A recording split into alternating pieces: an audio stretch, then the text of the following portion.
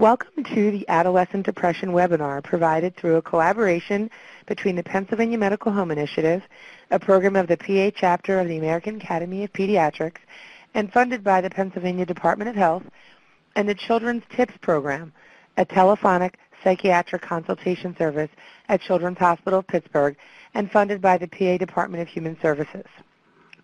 This webinar series aims to address important information about depression, helping identify adolescent depression with screening tools, assessment and evaluation, understanding the basics of assessing safety, and other issues presenting in primary care practice. I'm a pediatrician at St. Christopher's Hospital for Children, Renee Turchi, and I am also the medical director of the PA Medical Home Initiative. This webinar is being recorded. This recording is available on both the PA Medical Home Initiative and Children's Tips websites and will be posted on the University of Pittsburgh Internet-Based Studies in Education and Research ISR, ISER website. For CME purposes, please be advised that both Dr. Schlesinger and myself have no disclosures. Please note that the information presented in this webinar is educational in nature and does not necessarily represent the views or policies of the PA chapter of the American Academy of Pediatrics nor its funders. Now, please allow me to introduce Dr. Schlesinger. Dr. Abigail Schlesinger is a child and adolescent psychiatrist with an interest in increasing access to quality behavioral health and developmental services for children and families. She was instrumental in the development of Children's Community Pediatrics Behavioral Health, CCPBH, a service that embeds therapists and psychiatrists in pediatric primary care. CCPBHS has won local, state, and national awards for efficiently improving access to care.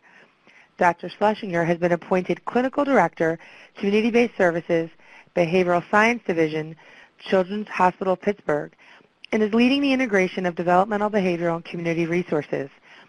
She is the Medical Director of Ambulatory Integrated Behavioral Health for WPIC and is the Medical Director of the Children's TIPS Telephonic Psychiatric Consultation Service Program at Children's Hospital of Pittsburgh at UPMC. We are delighted and grateful to have Dr. Schlesinger present on this timely and important topic for primary care clinicians. Dr. Schlesinger, please begin your presentation. Thank you. Thank you, Dr. Turchi, and I'd like to thank um, uh, AAP and the state for uh, allowing us to talk about this important topic, adolescent depression, with a specific emphasis on primary care. Um, my goals and objectives today are to help you be exposed to important information about depression that will help you guide your practice, to be able to identify adolescent depression with both screening tools, assessment, and evaluation, to understand the basics of assessing safety, exposed to the components of an effective safety plan, and understand the role of pharmacologic, meaning medicine, and non-pharmacologic interventions for depression. This is actually part of a two-part series. I will also be um, doing a webinar on SSRIs, um, specifically digging more into what to do once someone decides to use an SSRI, although that is only one comp important component of treatment for adolescent depression. Um, I think there's been a lot of talk about adolescent depression in the last few years, um, and uh, I think this picture is, is only one representation of how adolescent depression can affect a girl, although it's important to realize that it can affects girls, boys, transgender youth, um, and families. And instead of background information, I purposely call this important information because I think that the, the background information is very vital in helping not only pediatricians and primary care physicians, but families and children and adolescents understand depression.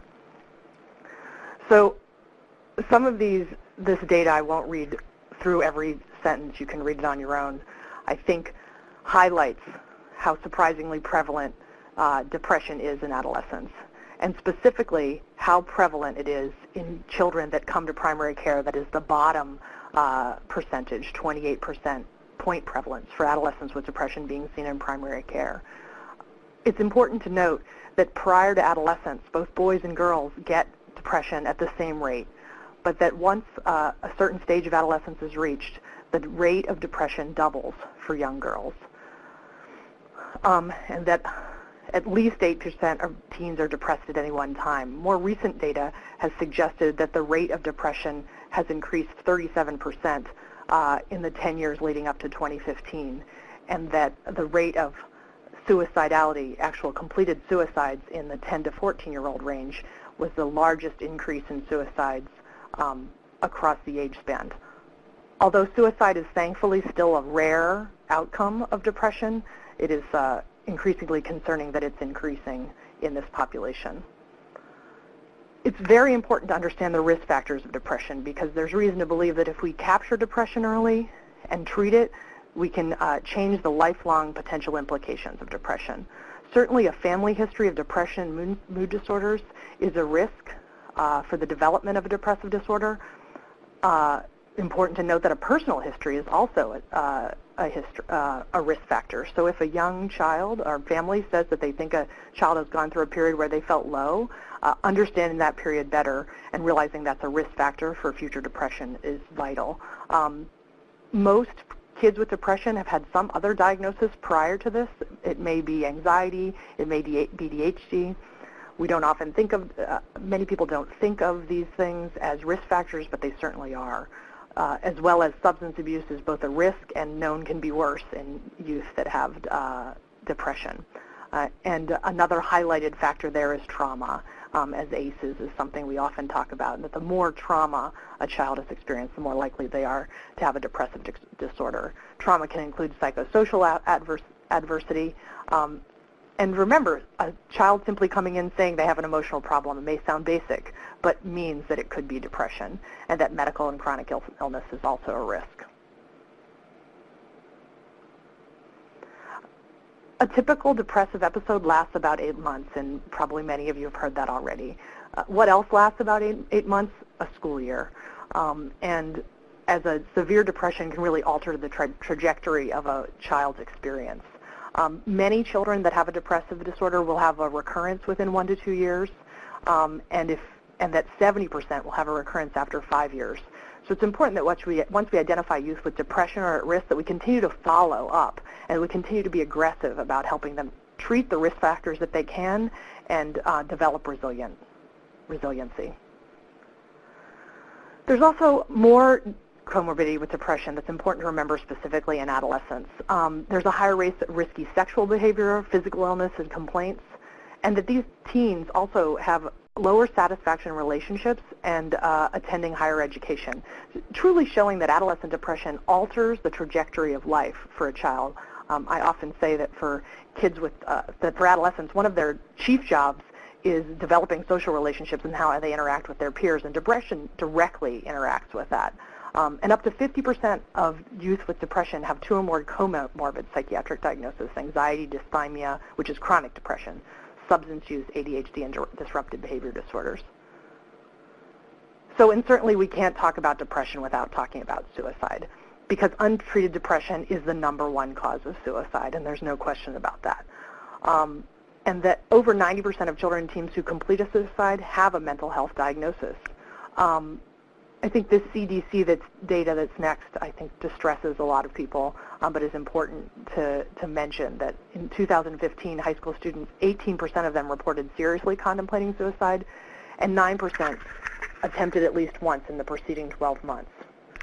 It's important to note that by asking about suicide, we are not going to make people think about or have suicidal ideation, but by asking about it, we can intervene. And suicide continues to be the number two cause of death in the U.S. in those 10 to 24 years old.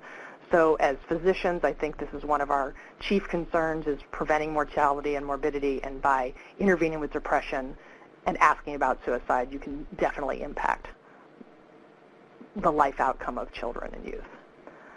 So in the DSM, there are many different diagnoses in the current DSM-5 uh, that, that are related to depression.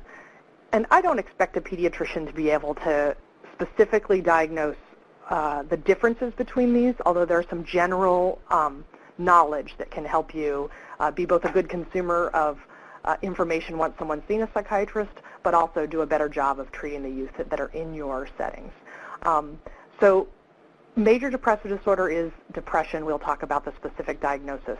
Persistent depressive disorder is the new word for dysthymia, uh, unfortunately named since the, uh, it is now the new PDD, for those of you who remember that autism spectrum disorder used to be called PDD. Um, other specified depressive disorder just means that a child has depression but hasn't fully fulfilled criteria. Um, there may be many kids that are very impaired by depression but don't have the specific number of criteria. So that gives the uh, providers an option to give someone a depression disorder without having the specific number of criteria checked off. I put adjustment disorder in there, although that's not supposed to be specifically used for depression, because many clinicians in the field may be worried about giving a depression disorder and may give adjustment disorder as a diagnosis. But if someone continues to have adjustment disorder for a long period of time, it is most likely that they have converted into another diagnosis. Major depressive disorder is one of many. I included disruptive mood dysregulation disorder and bipolar disorder in this list, not because I expect a primary care disorder, uh, physician, physician to be able to diagnose these, but it's important to know that they exist. So disruptive mood dysregulation disorder uh, is often called by people in the field, quote, temper tantrum disorder. Uh, we don't know a lot about this disorder. It was new in the DSM-5 it was, it's for young children uh, who are chronically irritable and, and frankly tantrum more than would be expected for developmental uh, trajectory. This was actually created because there was a concern of too many children who were disruptive and irritable getting the diagnosis of bipolar disorder, when in fact they're more at risk for depression than bipolar disorder. So this category was created to help us better understand these young children with uh, irritability and, and frankly temper tantrums.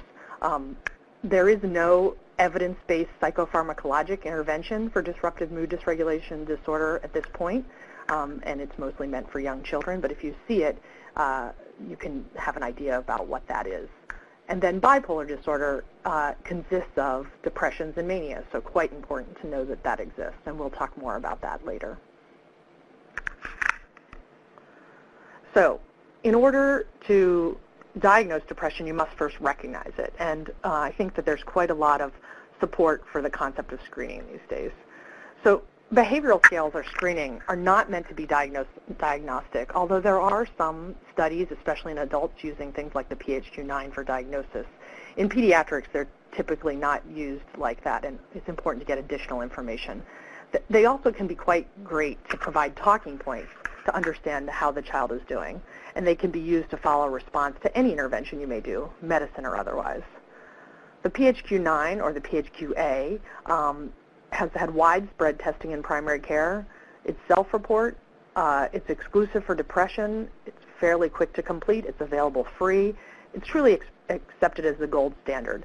And a significant score is 11 or greater, although 15 increases the specificity for um, depression.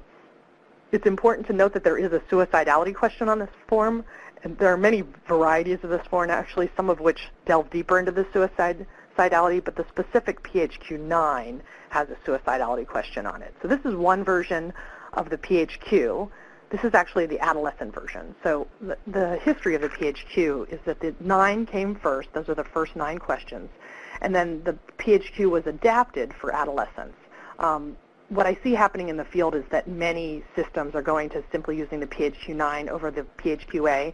So I wanted to talk slightly about the differences between the PHQ-9 and the PHQ-9A or PHQ-9A, the adolescent version. So first, the, the nine questions are essentially the same, um, except for an important piece, and I have that circled there, irritability. And we'll talk more about how irritability is actually a cardinal symptom for depression in adolescents but not for adults. So they actually added the word irritability to number one in the adolescent version. So if you're in a system that's using the regular PHQ-9, that word irritability will not be there. Um, that does impact probably the sensitivity of the document, and if you are using the PHQ-9 and someone has irritability, uh, you might want to ask that specifically. Um, there are also some other slight differences which I didn't circle here because I think they're less important. Um, but 7 has a question about concentrating on watching TV, which may even already not be apropos as many kids aren't watching TV very much anymore. Um, question 9 is that lethality question. Uh, that is the same question the PHQ-9 and the PHQ-A. Um, and then those five questions on the bottom aren't on every single PHQ-9 and actually aren't involved in the psychometrics, but are additional questions that have been added to help uh, clinicians get additional information. And notice they also provide more information about suicides, attempts, and uh, past history of depression. Um, if you're choosing which forms to use and you don't feel comfortable asking these questions, this is a way to enter into this the question area, um, but many systems simply use the 1 through 9, either the PHQ-9 or the PHQ-A.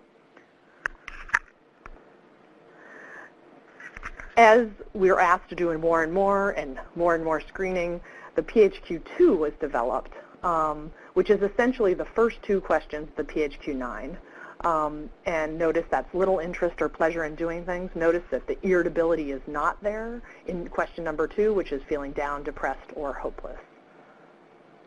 The PHQ-2 is screened as positive if it's greater than or equal to 3, and um, significant testing was done on the psychometrics, and it does have a quite a good sensitivity and specificity for primary care populations and its sensitivity and specificity compared to the PHQ-9, not the PHQ-A, uh, is sufficient to say that it is an adequate replacement.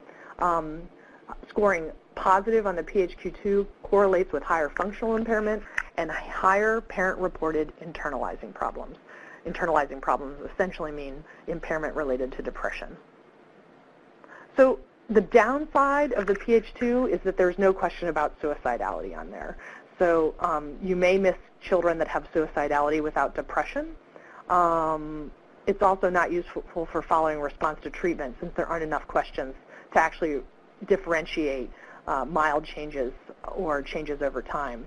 One approach that's been used in several systems that seems to be effective is to, if, if you don't want to use the PHQ-9 or the PHQ-A, is to screen all adolescents with PHQ-2 and then for those who screen positive, open up into the PHQ-9 and then use that over time.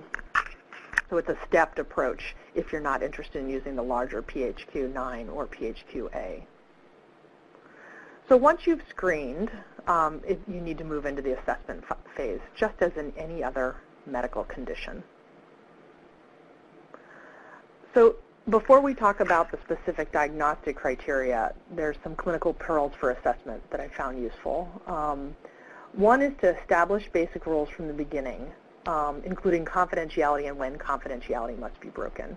Um, it's important for adolescents to know that in terms of your patient-doctor uh, relationship, that you will keep the information they tell you confidential unless they say something that will put them acutely at risk or say that they've been harmed by someone else. Um, this is very important to establish before you get into the scenario that they've told you this information and then you need to backpedal. We've seen this happen with many trainees and it can be quite frustrating for both the provider and the family. Um, it also can be use, useful to interview with the parents together and with the adolescent alone. Adolescents can give you a lot of information, and as you all know, uh, adolescents are more likely to be open and thorough without their parents present. Um, that being said, I think interviewing the parents and patient alone can also give you a lot of information about how the child and adolescent is presenting in front of their parents, so both can be quite useful. Um, it's important to emphasize with the patient, the adolescent, that there are no wrong answers. Um, you're asking them questions about how they feel, what their perception of life is, and that there is no wrong answer. Um, you want to understand how long they felt how they feel. Um, when do they remember being happy or being themselves? Uh, remember, people that are depressed sometimes have trouble remembering happy situations. So some people may say they never felt happy, um, but some may be able to say this has only been going on for a month or a year. Also, don't lead them to the answer you want to hear. I think the classic trap here is that you don't want to hear about suicidality. So you say, you haven't been thinking about killing yourself, have you? Or you haven't thought about hurting yourself, have you? Um, adolescents are very good at hearing what you want them to tell you. And if they hear that you're maybe nervous or don't want to hear about things, they just won't tell you. Also, um, another frequent trap is when we see children and adolescents that seem to be doing very well, that seem to have a lot of strengths, there's a desire to want to tell them what their strengths are, in an essence telling them that they have a reason to be happy or that they have a reason to want to live. Uh, there's a lot of data showing that it is not useful to tell someone why they should feel some way, some way or even to give them a pep talk. It's much more useful, especially during assessment, to get all of their information and to empathize with how they're feeling. So some specific developmental issues, and although we're focused on adolescence, I just wanted to pull out some information about how prepubertal children present because um, a lot of times when I hear about primary care doctors seeing adolescents, they can describe some of these prepubertal issues that they saw for years leading up to the full-blown depression.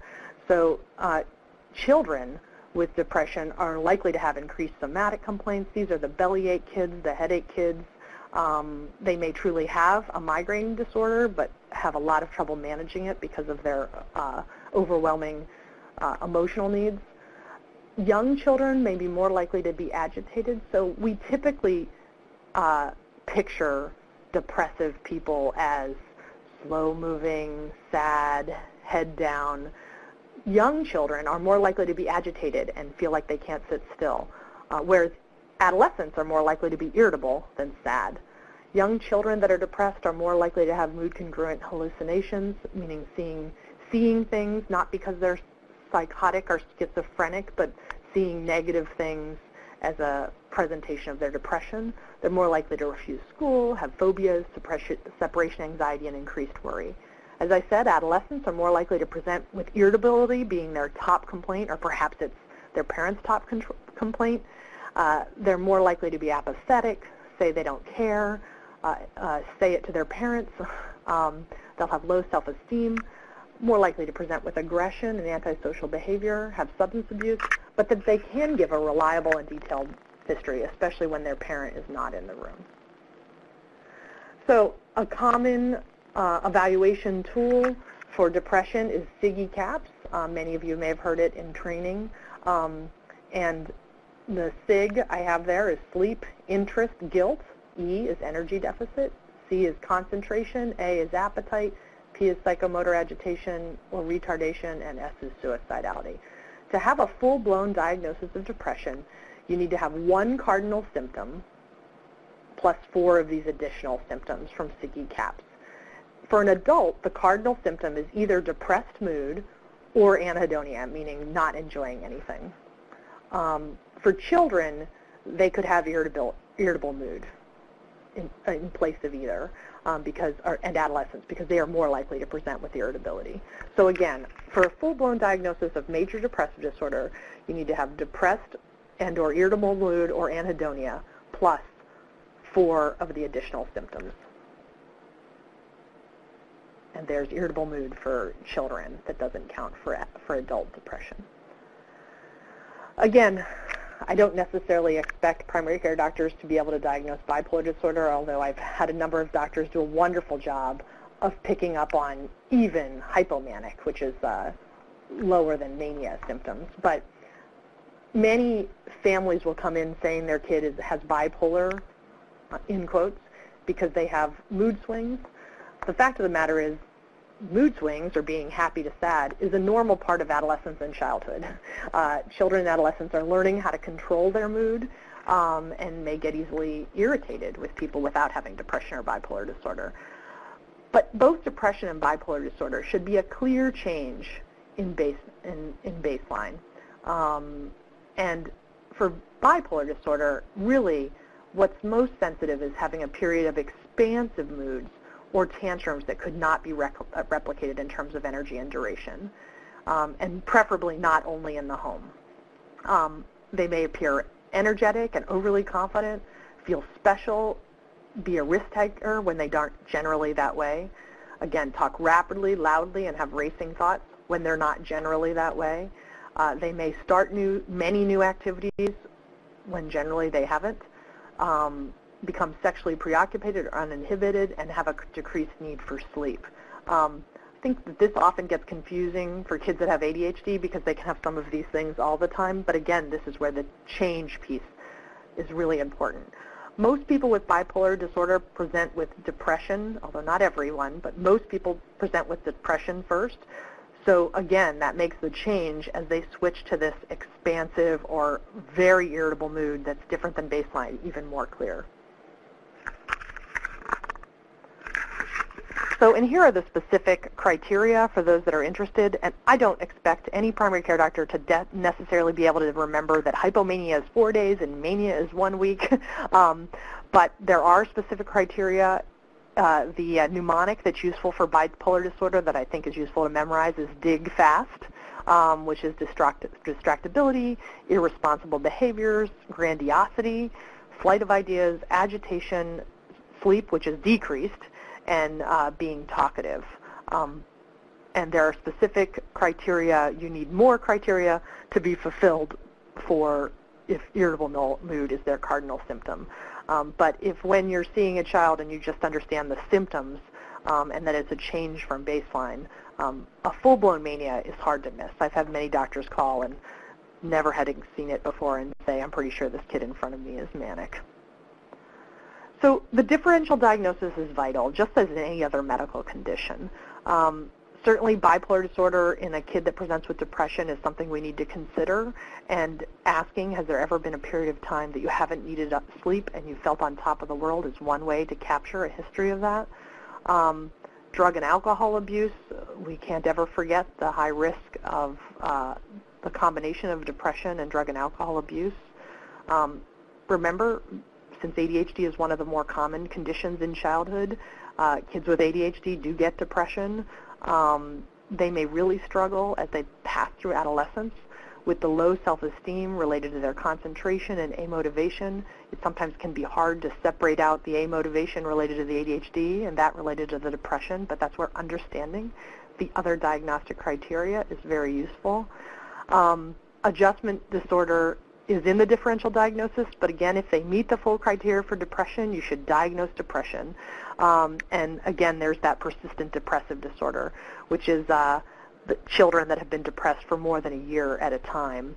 This you can have both persistent depressive disorder with and without a full major depressive disorder. A child that's been depressed for more than a year um, definitely needs thought about getting intensive services so that they can get better.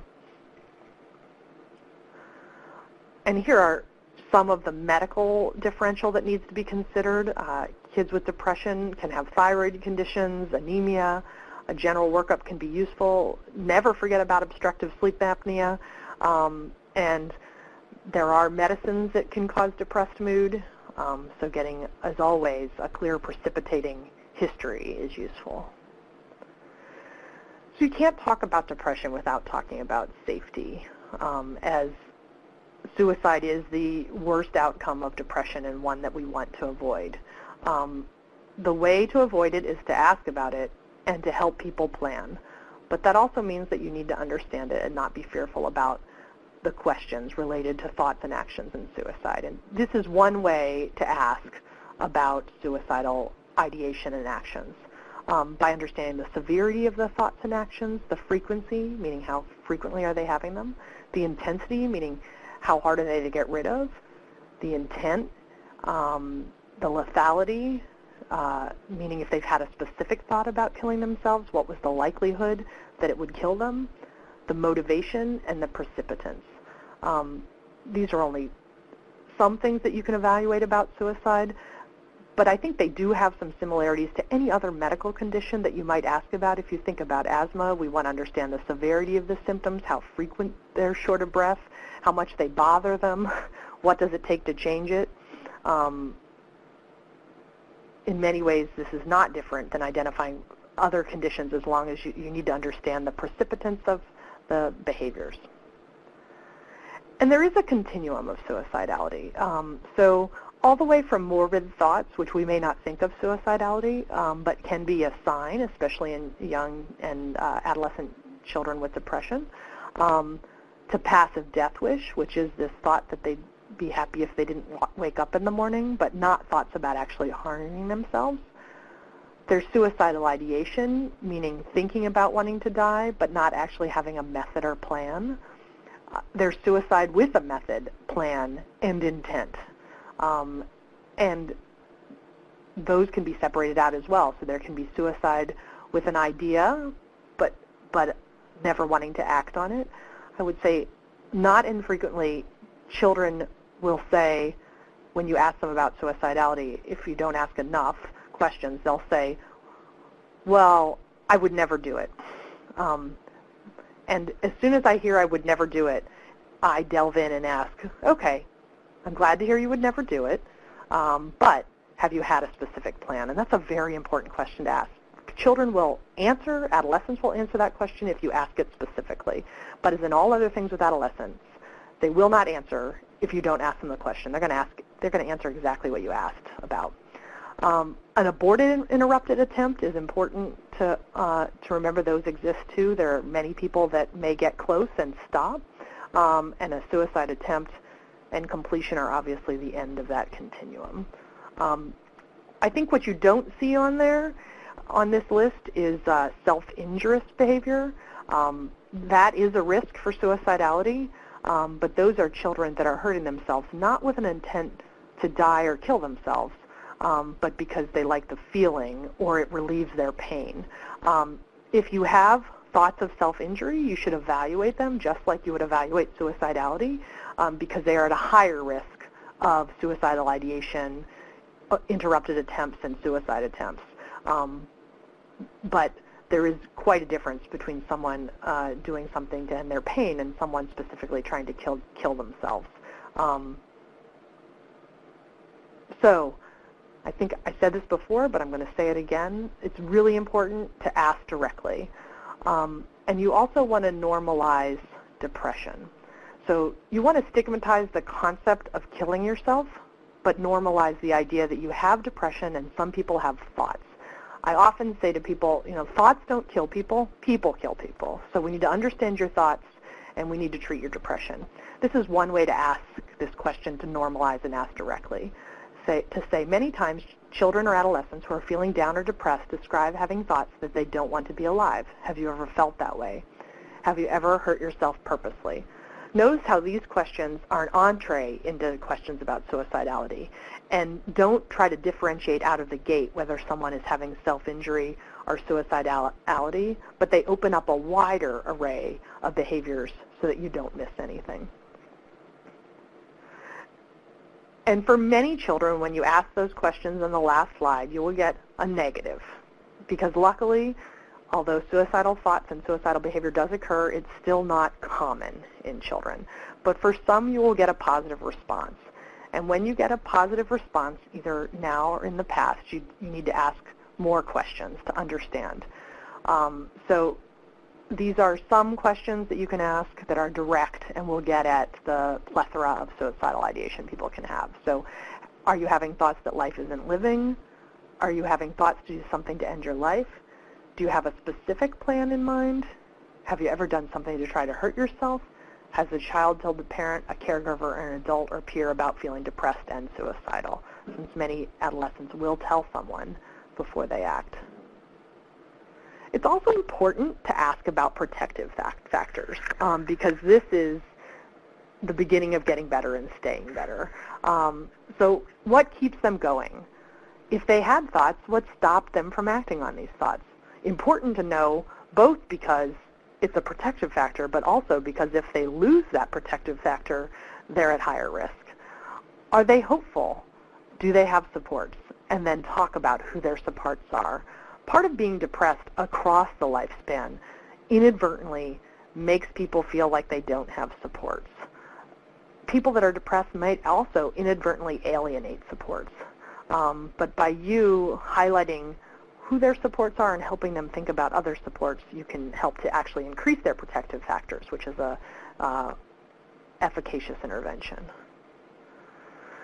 So many children will never get to the assessment of lethality. Um, but if you've asked those past questions um, and the child has indicated a strong current intent or a current plan, that should say plan rather than place, sorry, um, and a ch child admits to prior suicide attempts, it's important to understand what the current plan or attempts uh, are. So very specifically, what was the method they used?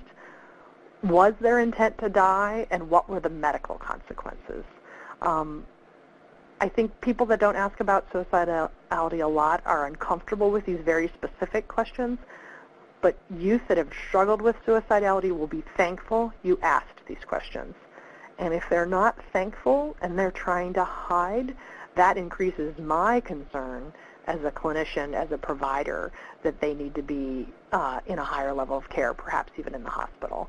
Um, so most youth that have had thoughts about suicide will walk you through, if you walk through with them, uh, the method, the intent, and any consequences.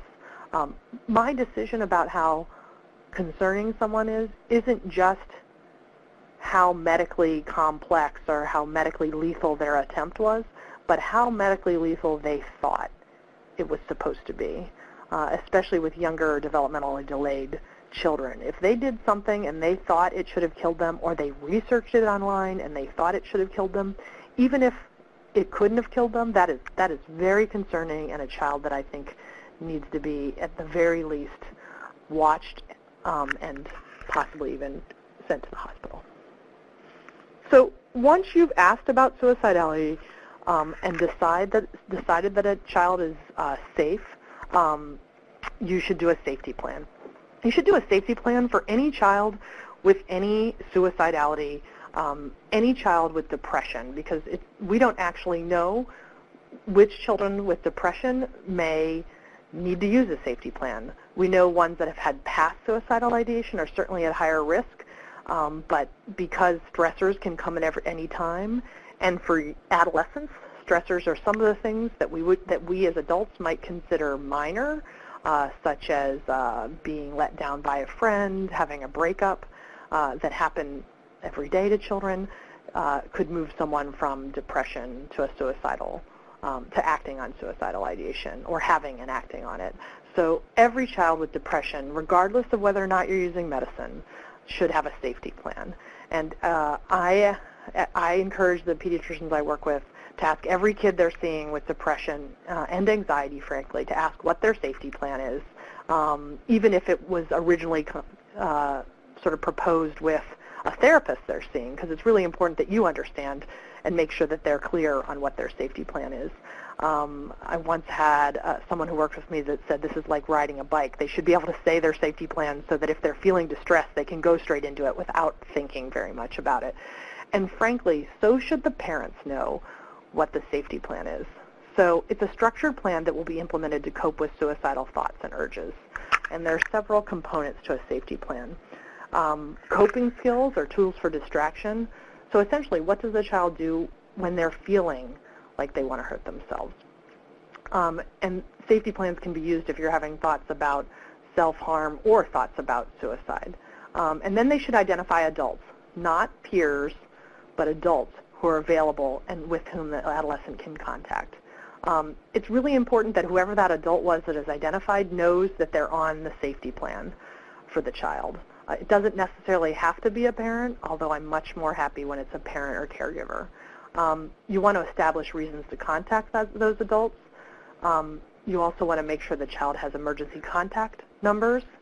Um, you want to determine that the adults will use the emergency numbers. So the adults that are on the list need to know that they are on the list, and then they need to know the emergency contact numbers in case they hear from a child or adolescent and they're not sure what to do.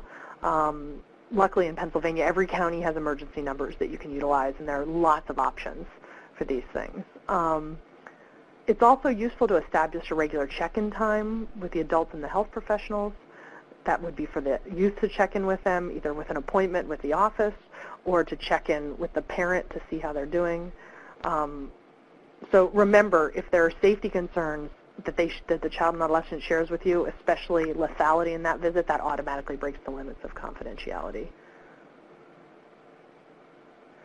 So other strategies that you can talk about. One is to avoid activities or situations that may trigger suicidal thoughts. A classic one is children that really like sad music. Um, maybe when you're feeling uh, depressed, uh, that is not the time to listen to the sad music that makes you feel worse.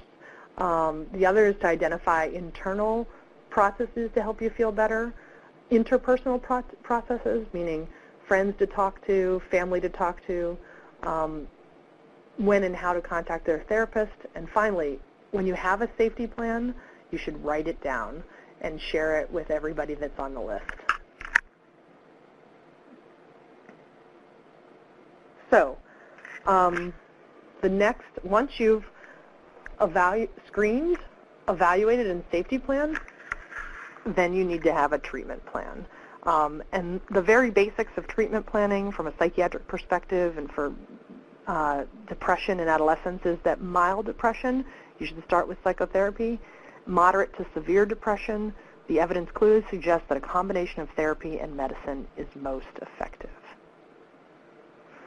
And this was sort of the cardinal study. It's the treatment for adolescents with depression study that showed that a combination of medicine and therapy was by far the most effective for the treatment of major depressive disorder. This was a 12-week randomized controlled trial of 12 to 17-year-olds with major depressive disorder. These were these kids were quite ill actually. Uh, they received they were, received either placebo, CBT, Prozac, or Prozac and CBT. Um, and the highlights of this were that Prozac alone did outperform CBT, but that Prozac and CBT, CBT clearly outperformed Prozac alone or CBT alone. This has been shown in multiple um, studies, and the, the, the clear benefit of a combination of evidence-based therapy and medicine has been shown um, in more than depression, actually, um, in other uh, in other conditions as well. So putting it all together, um, we're going to walk through a case now from the beginning, uh, meaning screening, um, when a child presents to the office, through um, uh, not quite the end, but through uh, improvement. So, and in order to do that, we should first talk about the responsibilities of the primary care provider. So this actually comes from the GLAD PC, which was endorsed by AP, AAP and uh, put together by a pediatrician. And you'll notice that a lot of these things on this slide we've already talked about. Um, identifying screening, evaluating, doing the basic differential, comorbid disorders, using sc behavioral screens, doing risk assessment, um, and then performing psychoeducation, supportive counseling, which we're going to talk about next, refer as needed, and then establishing responsibilities and roles of providers, and scheduling follow-up appointments and goals. I also think that many of these things uh, can have a huge impact um, on the outcome as long as you follow up consistently and do some basic psychoed and interventions in the room. So Olivia, this is a healthy 12-year-old who comes to you for a well child check. She's been generally healthy uh, with no behavioral health concerns, is cisgender, attracted to boys. She has, she has male and female friends who she hangs out with and texts. She's an athlete, an A student, and no dating or sexual history.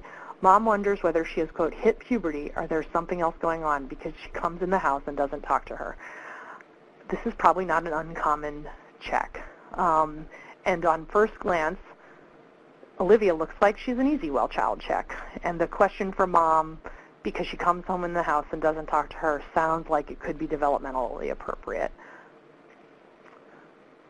But she gets a PHQ-2 and endorses that she has little interest or pleasure in doing things nearly every day, which is positive. I think this really shows the clear potential benefit of screening um, because it would be easy to write off mom's complaints as uh, developmentally appropriate. Certainly she wouldn't be the first or the last mother I've seen with those concerns. But clearly there's something going on from this screen uh, inside Olivia that needs further evaluation. So if you open up to the PHQ-9, her total is 13. Uh, remember, over 11 is, um, is significant for depression. So, and then you talk to Olivia. So she says she's been irritable most of the day for greater than a month. Because of her irritability, she's not enjoying her time with friends. She feels bad about being irritable and isolating. She's tired all the time and is having trouble concentrating at school despite sleeping 12 hours a night and napping. She denies feeling depressed. There's no changes in her appetite or energy level. She denies suicidality. And she has no trauma or substance use history. So there's a lot of information in there. Um, and it's important as you get that information to think through those symptoms of depression because just looking at the information without looking at the, the symptoms uh, can be confusing uh, I've had doctors call me and say, well, she doesn't say she's depressed, but there are these things going on. Again, just like anything else we learn in medicine, go back to the diagnostic criteria. What does she have and what doesn't she have?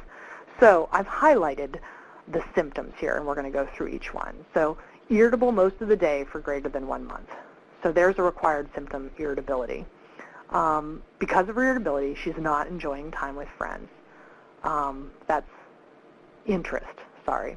And she's also sleeping more than normal. She also has guilt. So this is an important piece here that you may miss if you don't ask about it often. A lot of times kids that are depressed will feel bad about being depressed. Like they're guilty that they feel bad. or they're guilty because they haven't talked to their mom more. Or they're guilty because they haven't followed through on things with friends. Um, that, that's a common symptom, um, but one you might miss in that description if you weren't specifically looking for it. She also says her energy is low despite all that sleep, and that maybe her concentration is decreased in school. There's no change in her appetite, psychomotor, and no suicidality. And she says she's impaired. So mom's noticed something's changed. She's noticed something's changed. But I would call that mild.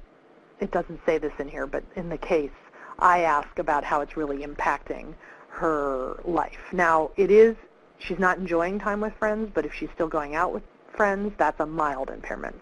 As you stop doing things, have decreased performance in school, at home, or with friends, that's as impairment goes up.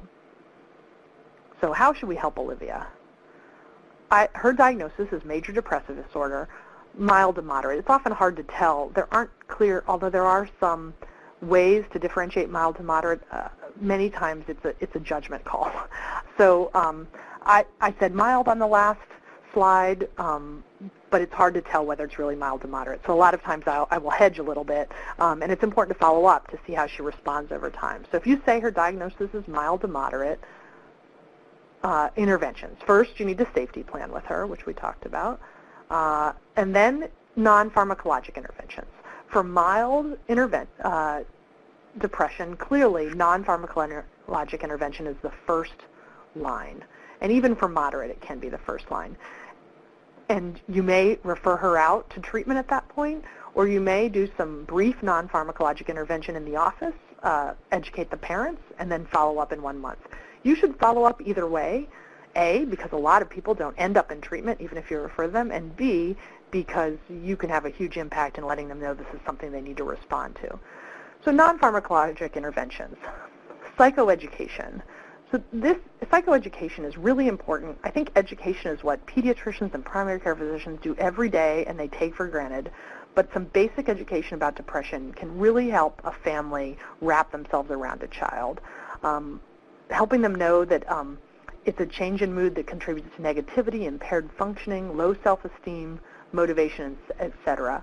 Frankly, just giving a name to what's going on. This is major depressive disorder. This is no one's fault, but there's things you can do to make it better. Um, there's a lot of confusion. There's a lot of information out about depression in the media that may not always be true. So you as an expert saying, this is major depressive disorder. This is what it looks like. It's not your fault. It's not your parents' fault, but there are things we can all do together to get it better can have a huge impact. You can always talk about relaxation skills. Many children with depression also have anxiety, uh, and there are some basic things that people can do to help themselves calm down, as well as exercise has a definite impact on mild to moderate depression that cannot be overlooked. Um, activation is simply getting up and doing something. And I shouldn't say simply because it has a huge impact. And I do this with every child I see with depression. Um, depression makes you want to not do anything. That's how it wins. Um, and by just getting up and getting off the couch and doing something, anything, it doesn't even have to be exercise, um, you can reverse uh, mild depression, even some components of moderate depression. The other thing is that it's useful to assist in problem solving. Sometimes children won't show up in um, your office until they're already at odds with their parents over something, they're not completing work. Part of being depressed is, makes it harder for you to problem solve. So if there's some specific thing that the family is struggling about, helping them to problem solve through those situations can have a huge impact. You also want to enhance supports and recommend psychotherapy. So you did that. She comes back a month later, and she her PHQ-9 is 21. Luckily, she's not suicidal, um, but those first seven questions suggest to me that she is not better, and in fact, maybe even calling out for your help. So when she comes back, I guess this is actually eight weeks, which is not uncommon, right? You tell someone to come back in four weeks, and they show up in eight. Uh, she has been in therapy. Her symptoms are getting worse. She's trying to work on skills, but she can't actually utilize them because she's feeling uh, amotivated, and she's getting to the point that she doesn't want to do any of her previous activities. So it doesn't take a rocket scientist to see that her impairment is up.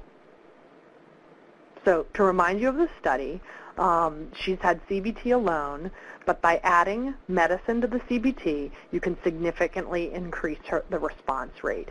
Many families will come in and say, I've done therapy either weekly or every other week for eight weeks. Um, that failed. It's time to move on to medicine.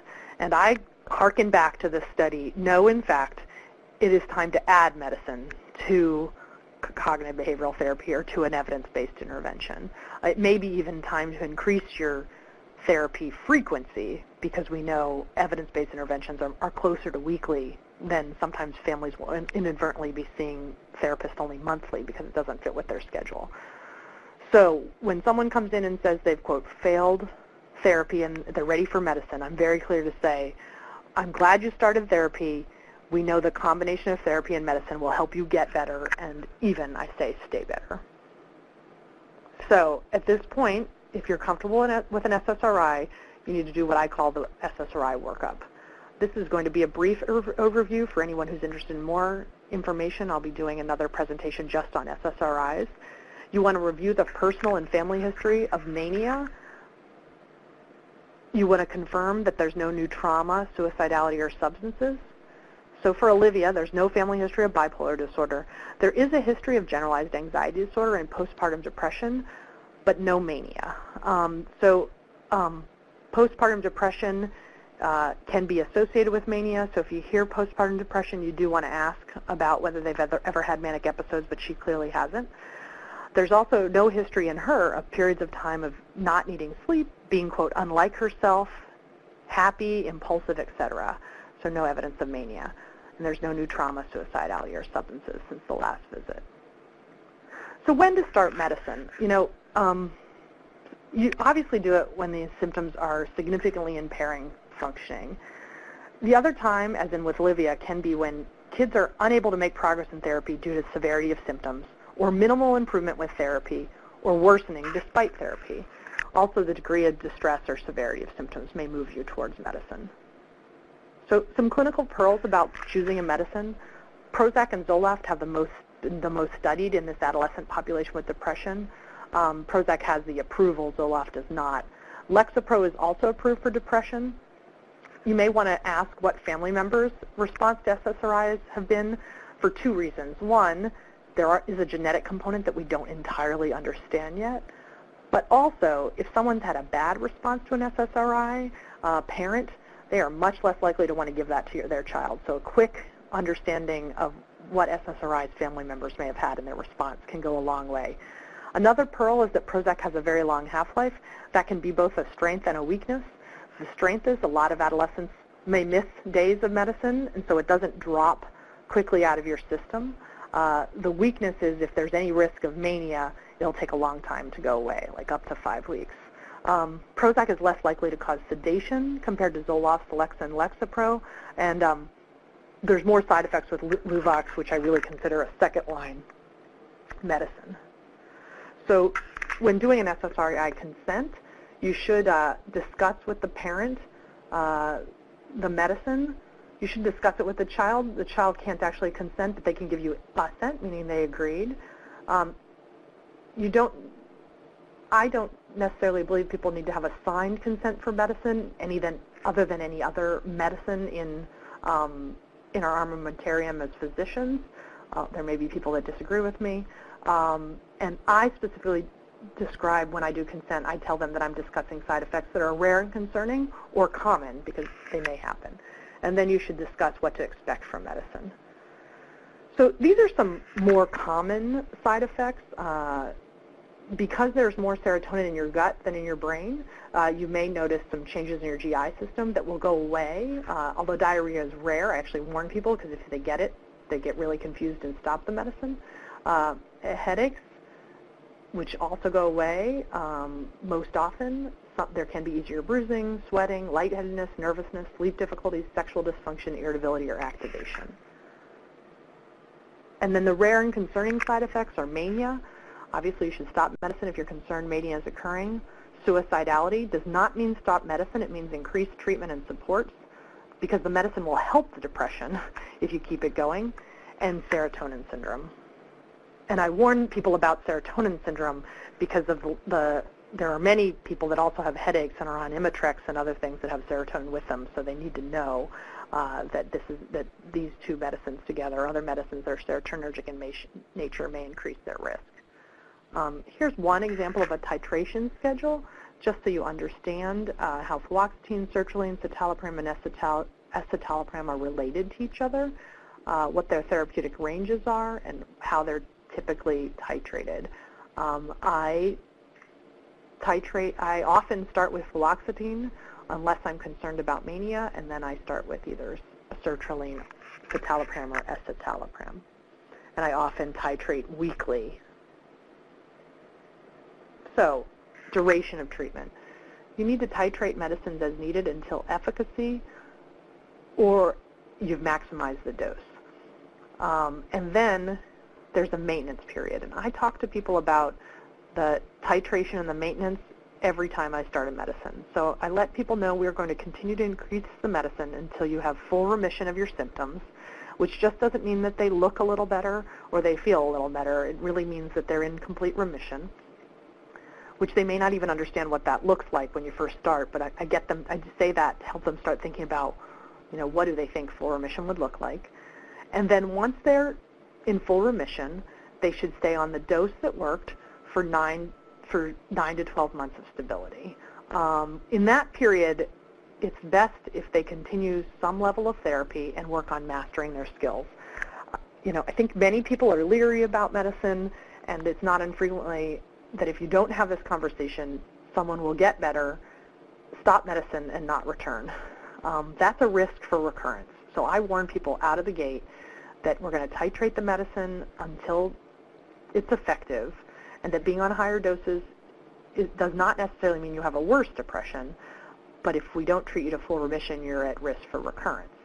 Um, and then I tell people that once they've been better 9 to 12 months, that we'll taper in a relatively stress-free time slowly. Um, I often talk about that as being a period that you're in cruise control and life is going well, and not necessarily in the winter. So Olivia's treatment course. Her initial visit, if you don't remember, was a PHQ-9 of unchanged to 13.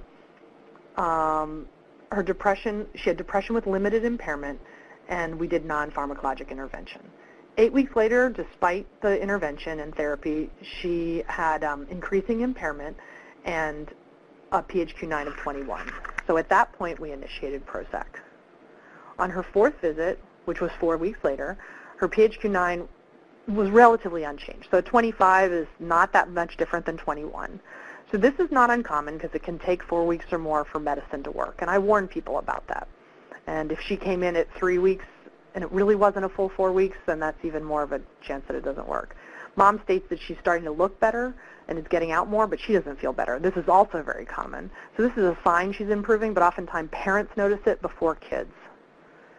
So at that point, even though there are slight change, signs of improvement, I would increase Prozac to 30 and, and it should say and instead of or, follow-up in two to four weeks. I guess you could or as well, actually, if you weren't sure whether to increase because there was um, there are some signs of improvement, you could just follow up as well. Um, but probably the best thing to do for her would be to increase and follow up. Eight weeks later, um, her PHQ-9 is down to 9, which is a significant improvement. Olivia agrees she's feeling better. And the next steps in treatment are to follow up in 48 weeks, reinforce the importance of non-pharmacologic intervention. So her treatment course has gone um, over several months, um, and she's starting to get better. So uh, to remind you again of the responsibilities of a primary care physician, um, many of these we've covered in this, these, this presentation, but we also added some additional things about how to intervene with medicine if you are interested. Here are some additional resources uh, from the Suicide Prevention Action Network, NAMI, and the American Academy of Child and Adolescent Psychiatrists. And I'd like to thank all the clinicians and staff who work to improve the lives of the youth and families struggling with mental health concerns. Uh, thank you for giving me this opportunity uh, to talk about adolescent depression. I'm now going to turn it back to uh, Dr. Turchi. This concludes our webinar, and I want to thank you, Dr. Schlesinger, for your excellent presentation. Please look for our other webinars in this series that are focused on depression, anxiety, confidentiality, and consent, and other timely topics. Many thanks again to the Pennsylvania Department of Health for the funding that made this behavioral health webinar series possible. Thank you.